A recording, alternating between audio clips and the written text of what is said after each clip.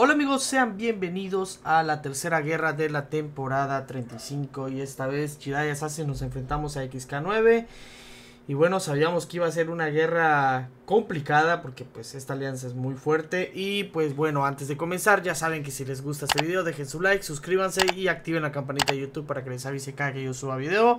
Y ahora sí, comencemos con la primera pelea, no me tocó camino en la primera sección, eh, me mandé con Capitán Infinity War para bajarme a este Bonnie Mau en el nodo 19, como saben este nodo puede llegar a ser muy complicado, eh, activen, eh, bueno, recuerden de siempre activar el nodo de ataque cuando utilicen a un luchador que se beneficia del, del ataque global, ¿ok? Recuerden, Capitán América se beneficia, entonces cada que yo luda no voy a activar ninguna ventaja. Eh, tanto por destreza ni por ninguna habilidad, no voy a activar nada. Entonces esto me sirve para que Ebony Mau no consiga poder eh, mediante dispersión y aparte también no me deje esa degeneración, no se active el ataque global. Y pues sí, al final eh, íbamos derribando cada que se podía a Lebon y Mau. Eh, apenas conseguí el especial 3 decidí tirarlo, no tiré mi especial 2 porque pues no quería arriesgar absolutamente nada. Como saben esta guerra iba a ser súper complicada. Y bueno, lo bajamos sin problema alguno de este Bonimau en el nodo 19 Teníamos la prelucha de Magneto eh, para que pudiéramos aturdirlo aún siendo inmune. Y bueno, en la siguiente pelea me tocaba bajarme a Tigra, ¿ok? En esta pelea me dejaron el, la prelucha de jinete de Apocalipsis, ¿ok? Y aquí me vengo salvando, chavos, en esta pelea. Tuve muy mala suerte, ¿vieron? Tres paradas y no me eh, activó ninguna ningún envenenamiento le había activado a la tigra ¿eh? eh vieron que me salvó la habilidad del jinete de apocalipsis porque se me olvidó nuevamente que era imbloqueable el especial 1 porque estaba lo suficientemente lejos de mí la tigra y pues activas imparable cuando te golpean al inicio si tienes la prelucha de jinete del apocalipsis entonces podría decirse que esa esa mm, ese golpe me, salvó porque activé el imparable y listo. Bueno, ahora pasemos a la siguiente pelea que para mí fue la más arriesgada y la que peor peleé. ¿Qué? ¿Por qué? Porque eh, en esta pelea, eh, de preferencia, yo siempre mando a, a, Arcángel con Jinete Apocalipsis, pero también con Prelucha de Magneto Blanco. Sin embargo, en esta guerra no pude mandar al no pude poner que, o sea, indicar que me pusieran a, al jinete, perdón, a la prelucha Magneto Blanco. Entonces se complicó bastante. Como ustedes pudieron ver ahí, eh, no activé muchas eh, neurotoxinas, empezó a salir de control. Llegué a activarle lo que es el nodo global a la Kitty Pride. Ya tenía cuatro eficiencias, no le llegué a anular muchas, llegó a activar unas cuantas. Entonces cada vez que, se que corría hacia mí, pues se volvía invisible, no recibía daño. Y pues eh, para mi buena fortuna, pues no la había activado, como tenía bastantes eh, neurotoxinas activas, pues, eh, pues sí me, me, terminé salvando de que no me dejara tantas cargas de alto voltaje. Como pudieron ver ahí, olvidé justamente que ya había bloqueado 10 golpes y me dio un combo. Ah, por suerte no tenía tantas eficiencias, entonces no me hizo tanto daño directo. Y pues la verdad que... Fue un problema esa Kitty. Vaya que cambia la pelea cuando no le das con, con Magneto Blanco. Entonces sí. Eh, aquí en esta pelea, al contrario de la guerra pasada, ¿se acuerdan chavos? Que le di al modo que en este nodo. Eh, no sé por qué mis paradas iban fallando. No me había percatado.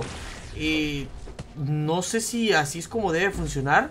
Pero, pues sí, o, tal vez sea porque tengo el jinete de apocalipsis, pero eso me desconcentró y dije, ¿qué pedo? ¿Qué pasó aquí? ¿Por qué, le, por qué me, no, me está permitiendo hacerle parada? A menos que yo haya tenido demasiada, pero demasiada suerte en la pelea pasada que ni siquiera tenía jinete de apocalipsis.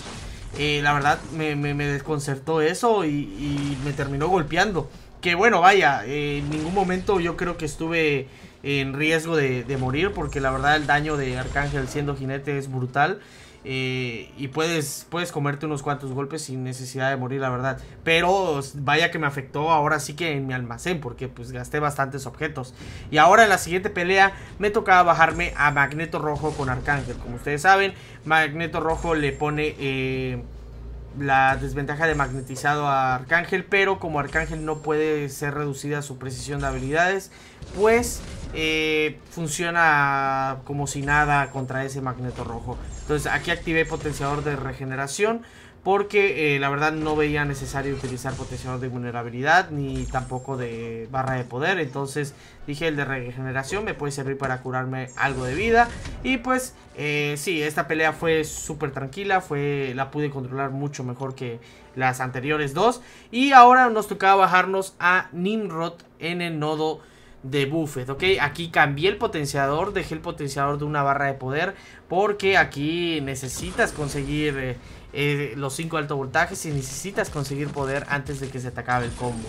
No, no me golpeó por equivocación, dejé que me golpeara, de hecho aquí también iba a dejar que me golpeara el golpe fuerte, pero resistí porque tengo un 5 de 5 en dureza legendaria. Y aquí como ya tenía mis dos barras de poder, ya decidí, listo, vamos a tirarle ese especial 2 y vámonos.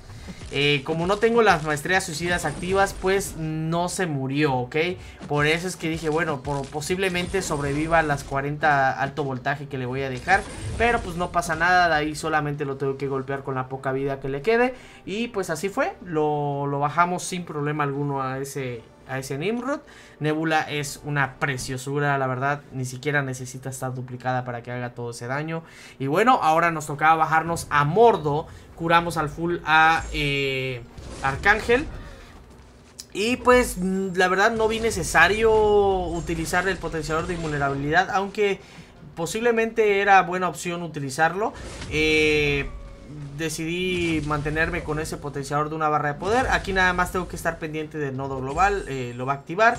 Y también pendiente de que el mordo, en dado caso que la neurotoxina se active y lo aturda, por habilidad de, o sea, de que expira la, neurotoxina, no atacarlo, porque ahí sí me puede eludir. Recuerden que el mordo solamente no elude mis golpes fuertes porque tengo la prelucha de magneto blanco activo, ¿ok? Solamente por eso. Entonces, al final, eh, mientras se sepa manejar eso...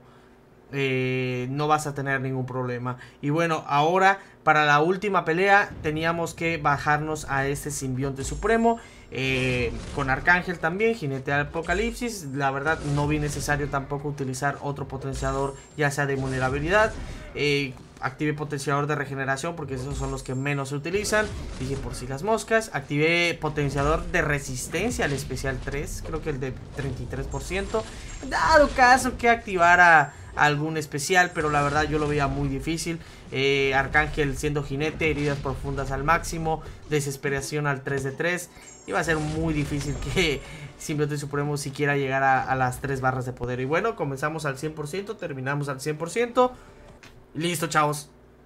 Esa fue mi participación en esta guerra. Tuvimos bastantes peleas, 8 peleas en esta guerra. Eh, y pues sí, al final terminamos ganando eh, la guerra, chavos, tuvimos dos errores luego, luego comenzando prácticamente. De hecho, dos bajas fueron en mi grupo, pequeños errores eh, que ah, en ocasiones se cometen, somos humanos.